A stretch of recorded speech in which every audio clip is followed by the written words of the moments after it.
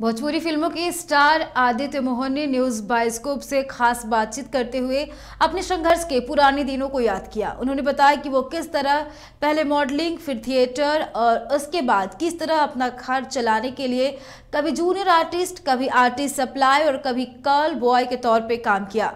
आइए सुनते हैं क्या कह रहे हैं भोजपुरी स्टार आदित्य मोहन। सब्र का फल हरदम मीठा होता है। कॉल सेंटर में काम कुरियर बॉय का काम, उस समय मेल्स नहीं चलते थे फोटोग्राफ ड्रॉप होते थे।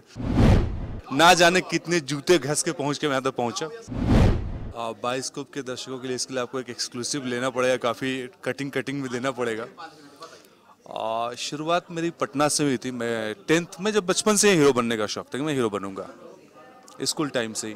टेंथ में अच्छे मार्क्स आए थे दिल्ली जाके थिएटर करना चाहता था, पर घर ने पटना भेज दिया मॉडलिंग वहाँ मिस्टर बिहार बना, फिर यहाँ आया। यहाँ स्ट्रगल शुरू हुआ डिप्लोमा लिया एक्टिंग में थिएटर किया, आज भी मैं थिएटर बैकग्राउंड से जुड़ा हुआ हूँ। मॉडलिंग रैम्प शोज़ मैंने किए काफ़ी अच्छे, मैंने प्रिंट कैटलॉग किया।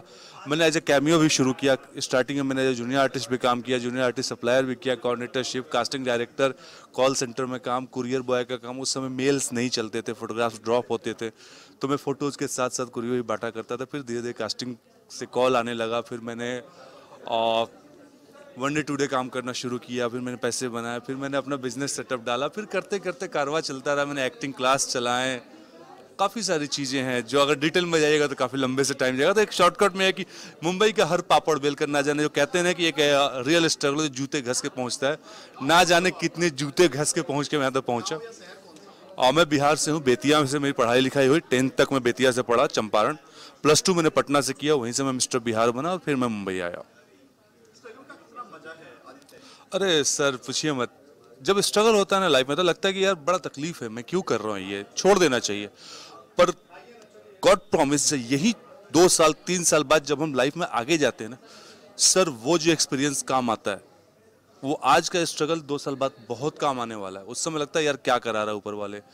छोड़ देते हैं सुसाइड कर लेते हैं कुछ काम नहीं है कहाँ जाएँगे? कोई पूछ ये दो तीन साल पाँच साल दस साल जो भी आप जिस पीरियड में जिस भी जगह होंगे जिस भी दौर में होंगे वो जो आप स्ट्रगल कर रहे हैं ना वो स्ट्रगल आपको आगे पक्का काम आने वाला है।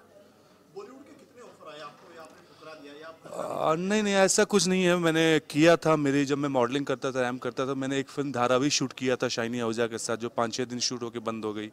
फिर उसके बाद मेरी विजय पथ के बाद जस्ट एक हिंदी फ़िल्म मैंने किया था, आखिर कब तक बॉलीवुड की? राम सुजान जी थे जो दबंग में चौबे जी बनते हैं। और वो फ़िल्म भी अच्छे लेवल पर रिलीज़ हुई थी। काफ़ी बड़ी एक फ़िल्म लाइफ के ट्विस्ट का मुहूर्त हुआ था। पर फाइनली मैंने देखा कि रैम्प मैंने किया था अर्जुन रामपाल के साथ, जॉन अब्राहम के साथ। आज ही मैं थिएटर प्लेस करता हूँ। जब मैंने देखा कि यार फ़िल्म बनने से ज़्यादा ज़रूरी है फ़िल्म की प्रमोशन और उस लेवल पर प्रमोशन मिल मिल नहीं रहा था और छोटे कैरेक्टर्स में करना नहीं चाह रहा था।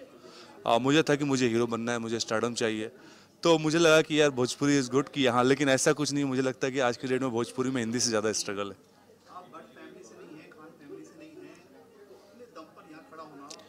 Sir sir Khan family Bhatt family हटा दीजिए। अगर हिंदी में आपको नेपोटिज्म है तो भोजपुरी में भी नेपोटिज्म है सिंगर्स का। पर पर सर, सर मेरे साथ तो सबसे ज़्यादा ही होगी। अभी तो कितने एक्टर्स जो अभी अभी आए हैं। और रवि जी विराज भट्ट के बाद कुछ एक्टर्स मैं हूँ जो ये चीज़ काफ़ी ज़्यादा सर्वाइव की है। कितनी फ़िल्में मेरे हाथ से गई हैं। हाँ कितनी फ़िल्में मेरे हाथ से गई हैं कितने सेट से मैं शूट करके मैं आउट हुआ हूँ। तो ठीक है। और नेपोटिज्म है वो भी अपना स्ट्रगल करके आए वो भी अपना फ़ील्ड करके आए और उस बीच में हमारा अपना फ़ील्ड पर टैलेंट की कदर हर जगह होती है। नहीं, देखिए, सब्र सब्र, देखिए, सब्र का फल हरदम मीठा होता है। अगर आप ऐसा बोलोगे तो फिर नवाजुद्दीन सिद्दीकी, मनोज वाजपेयी और पंकज जी और नसुद्दीन नसुद्दीन शाह, ये सब आज हिंदी इंडस्ट्री में नहीं होते। वहाँ भी नेपोटिज्म है। तो ऐसे में अगर यहाँ पे सिंगर्स हैं, सब लोग हैं तो ऐसे में आदित्य मोहन भी पिछले चार पाँच साल से दस, बारह, पंद्रह, इक्कीस फ़िल्में मैंने कंप्लीट कर ली। तो सर, टैलेंट की कदर है, काम मिलता है। हाँ ठीक है। हाँ तो सर वक्त लगता है मेन पेशेंस कितना सब्र आप रखते हैं और कितना जिद, कितना डेडिकेशन है आपके काम को लेकर के। और बाकी टाइम के हिसाब से हर चीज़ मिलता है। हाँ वो बात सही है कि जो चीज़ पहले मिलना चाहिए, उसके लिए सब्र ज़्यादा करना पड़ जाता है। कभी कभी सब्र का जो मज़ा, जो रिज़ल्ट मिलने वाता है, वो वो मज़ा नहीं आता, लेकिन फिर भी चलता है।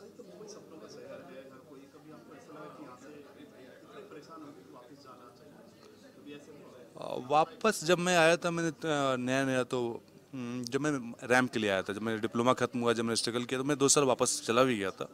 फिर मैंने वहाँ डीवीडी फ़िल्में थिएटर्स किया फिर वापस आया फिर मैंने एक नए सिरे से स्ट्रगल। उसके बाद मैं वापस का नहीं सोचा था हाँ मैंने सुसाइड वुसाइड ये जो चीज़ें होती है ये सब स्ट्रगल के बाद काफ़ी लोगों के मन में आता है काफ़ी लोग डिप्रेशन में जाते हैं बैकअप नहीं होता है मेंटली सपोर्ट नहीं होता है तो ये सारी चीज़ें हैं। पर फाइनली जब मुझे लगा कि नहीं यार फाइनली लोग पूछते हैं वेयर आर यू आप क्या कर रहे हो? झेलना आपको है. So I am doing I am doing my struggle मैं अपना कर रहा हूँ और अपने ऑडियंस के प्यार से, माँ बाप के आशीर्वाद से, अपने मेहनत से कर रहा हूँ।